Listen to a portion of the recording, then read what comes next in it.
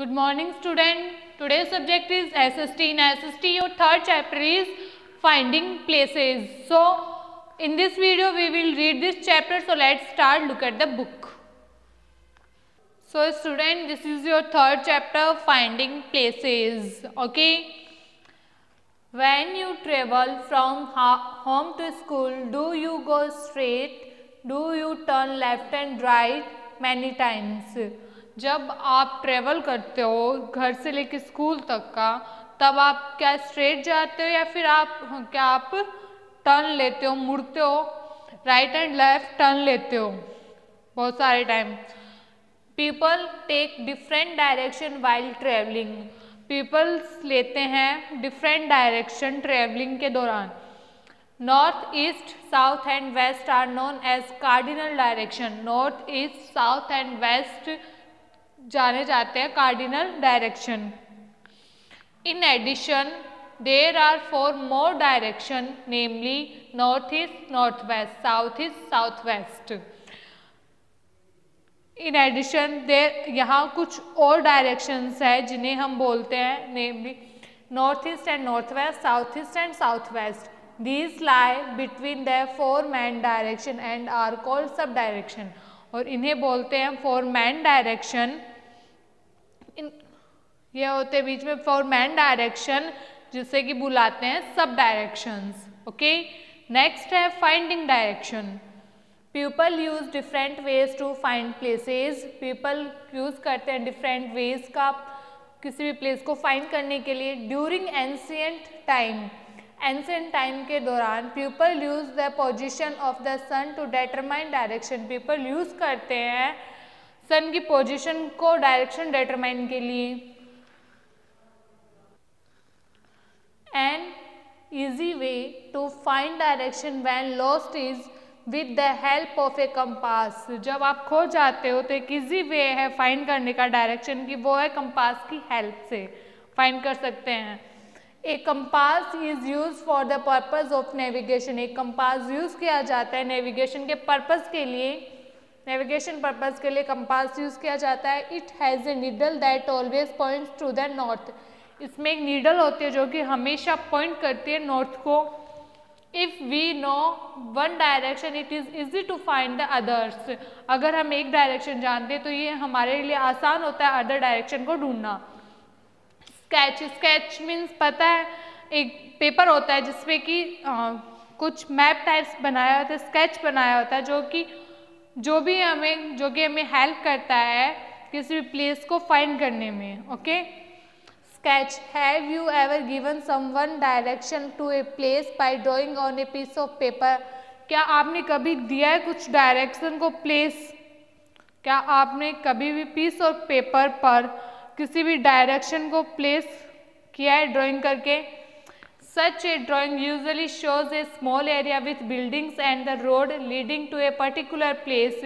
और ये drawing show करती है हमें यूजली शो करती है वो स्मॉल एरियाज़ किसी बिल्डिंग का या किसी रोड को लीड करते हैं, किसी पर्टिकुलर प्लेस के बिल्डिंग की रोड को लीड करती है वो drawing this is called sketch इसे बोलते हैं स्केच किसी पर्टिकुलर प्लेस की रोड को लीड करने के लिए या फिर किसी बिल्डिंग को लीड करने के लिए एक स्मॉल एरिया इस स्केच में, इस ड्राइंग में यूजुअली शो किया जाता है। This is called a sketch इसे बोलते हैं sketch a sketch is a rough drawing that shows direction to a particular place ये स्केच एक रफ ड्राइंग होती है, जो कि शो करती है डायरेक्शन एक पर्टिकुलर प्लेस की डायरेक्शन को शो करती है। मैप्स मैप्स का भी पता है आपको मानचित्र बोलते हैं हम हिंदी में। We use maps to find direction और प्लेसेस ऑन द अर्थ हम मैप्स का यूज़ करते हैं डायरेक्शन फाइंड अर्थ पर डायरेक्शन और प्लेस फाइंड करने के लिए।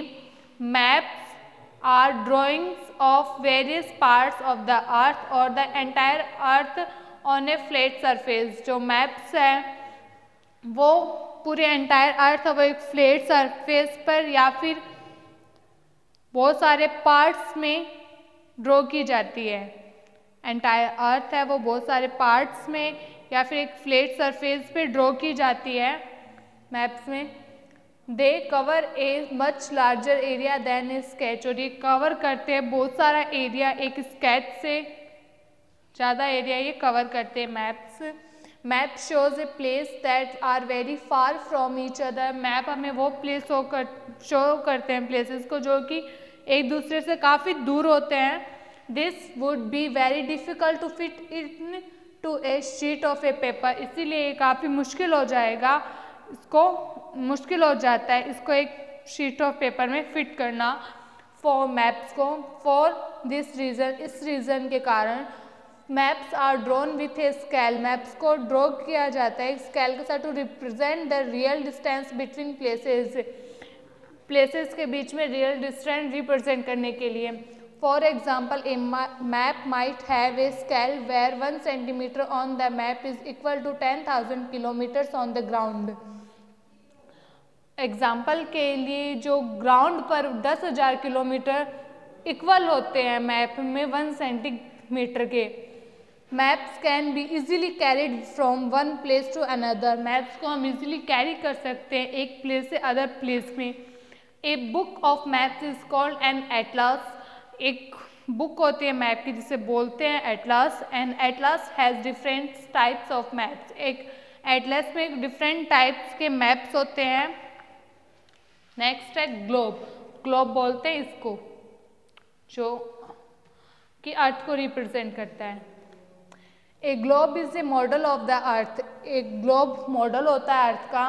The word globe comes from the Latin word globus which means a spherical, spherical object ये जो वर्ड ग्लोब है वो आया है लैटिन वर्ड ग्लोबस से जिसका मीन्स होता है spherical object we can see all the continents and oceans on a globe हम देख सकते हैं सारे कॉन्टिनेंट्स एंड ओशियन इस ग्लोब पर।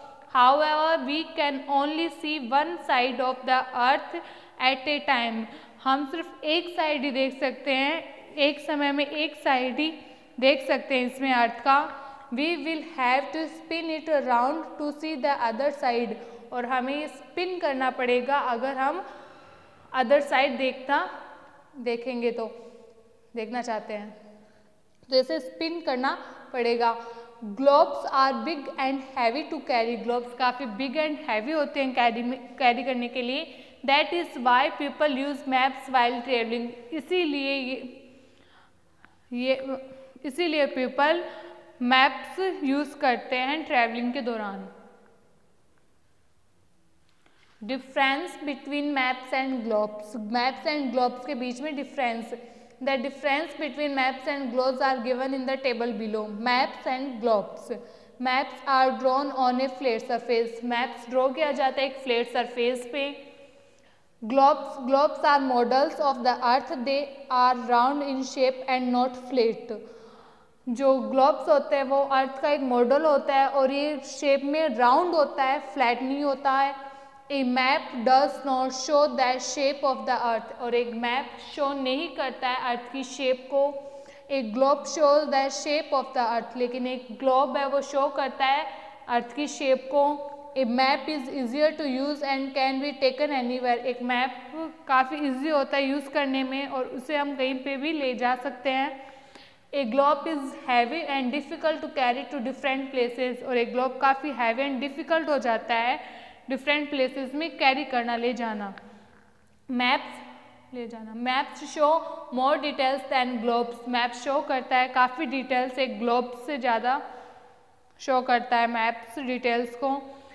Globes show globes globes show fewer fewer fewer details than maps और ग्लोब्स शो करते हैं फेवर डिटेल्स एक मैप से। एक मैप से ग्लोब्स फाइवर डिटेल्स शो करते हैं okay so now is the turn of book work we will do book work so let start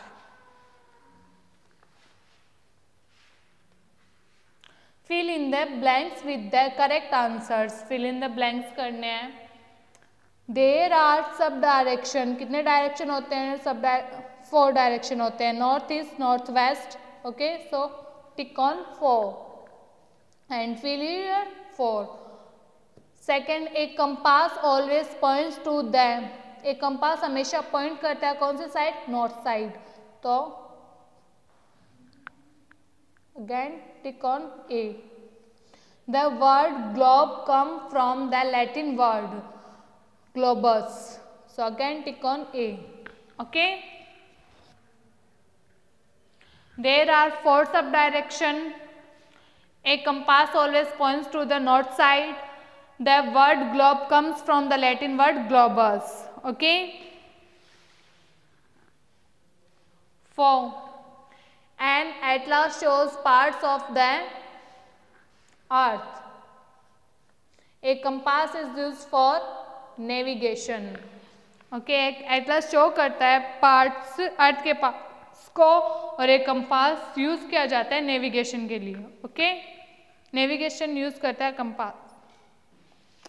okay, next है list two difference between a map and a globe. हमें two difference बताने हैं, map and globe के बीच है। First, maps are draw on a flat surface. Maps are draw on a flat surface. तो यहाँ right करेंगे first. Maps are drawn on a flat surface okay? Second हो जाएगा। Map show more detail than globes. Maps show more detail than globes. Okay. Next globe. Globes show fewer details than maps.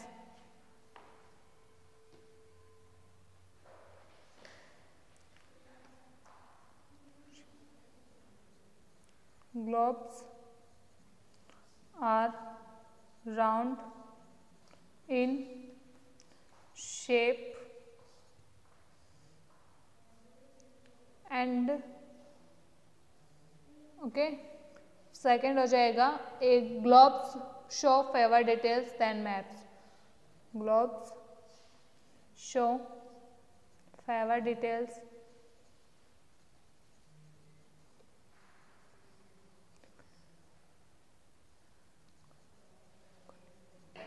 details then maps. Okay so ये हो गया difference maps and globes के बीच में। Okay so students ये chapter आप read करोगे फिर से।